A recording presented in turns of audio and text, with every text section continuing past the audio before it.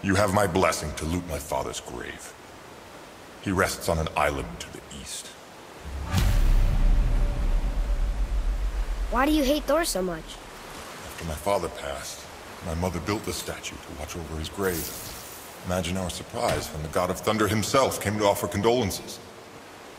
At first we were thrilled, but he quickly took advantage of our hospitality. My mother begged him to leave, and Thor, in his drunken rage, killed her. I was left with nothing but grief. Eventually I lost that as well, and found only rage in its place. I... I'm so sorry. Come, boy. We have a statue to destroy.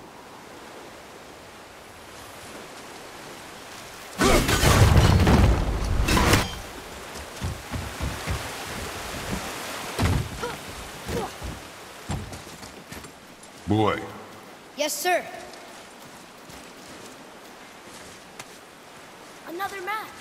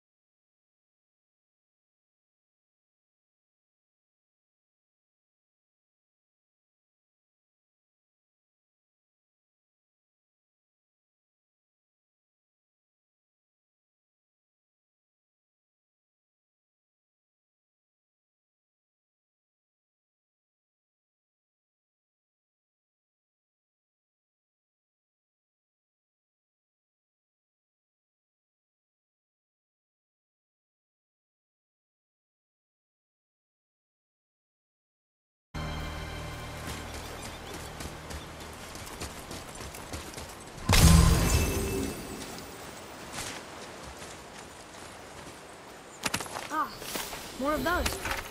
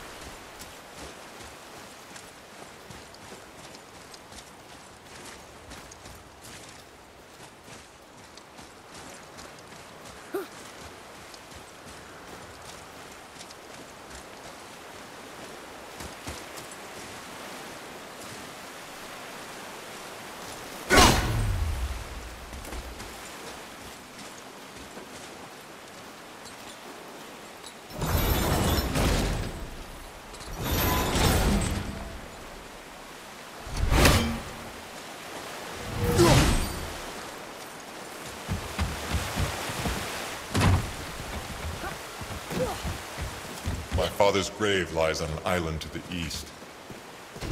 Do not mistake my mother's statue of Thor with that monstrous eyesore to the south. You got it.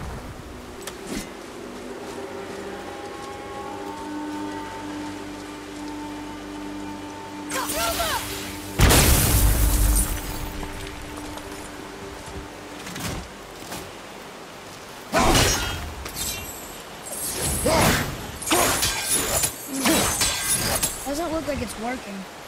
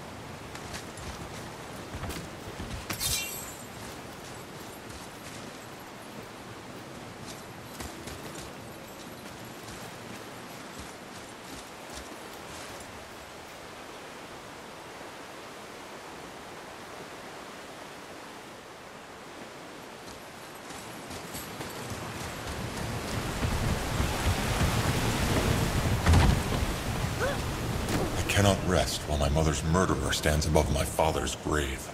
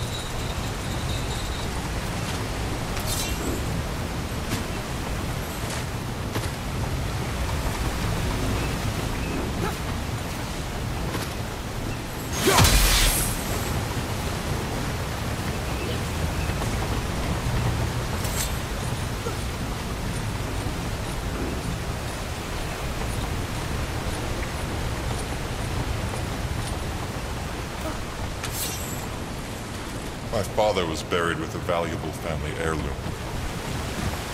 It is yours.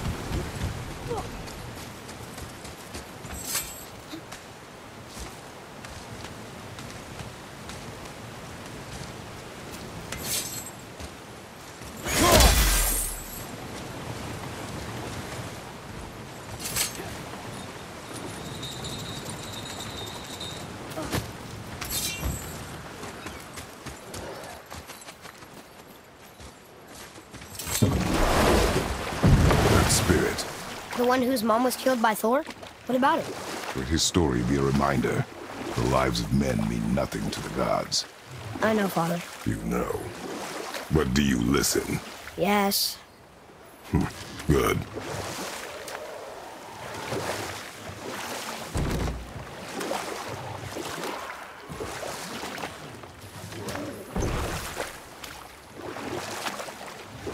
Okay. Obviously, the marriage to Odin didn't last. But how did Frey end up a hermit in the woods? Oh, that was a singular piece of cruelty, even for Odin. As if the marriage wasn't punishment enough. Freya was better to him than he deserved. She stuck it out through all manner of indignity, all in the name of maintaining peace and safety for her people.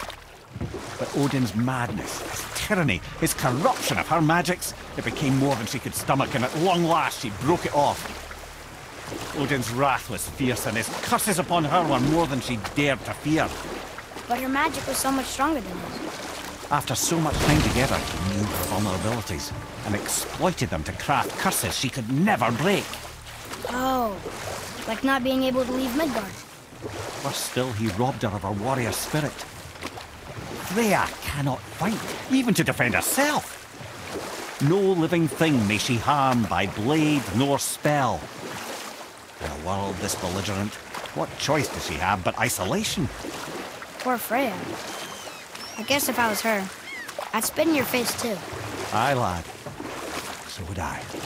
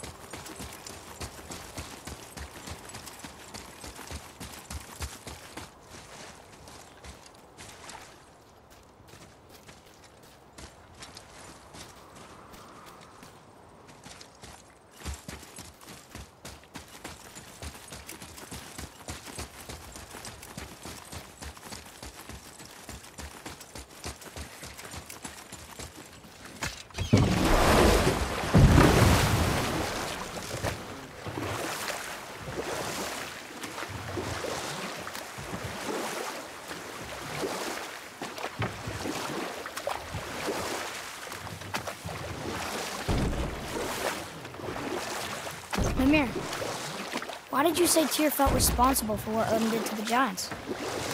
There was an incident shortly after the forging of Mjolnir, when Tyr arranged a diplomatic meeting between Odin and the giant kings. Well, this was when the Long War was young, when victory was still a thing dreamed of, and the Jotnar might have tipped the balance between Aesir and Vanir. Odin had persuaded Tyr that the hammer was merely a deterrent, a means to broker peace from a position of strength. You know what? I'll tell this one later.